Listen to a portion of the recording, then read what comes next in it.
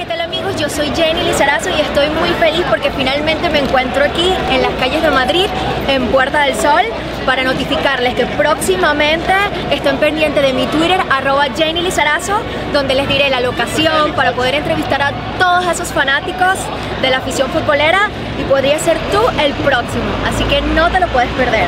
Para nuestro chiringuito, un beso de parte a todos.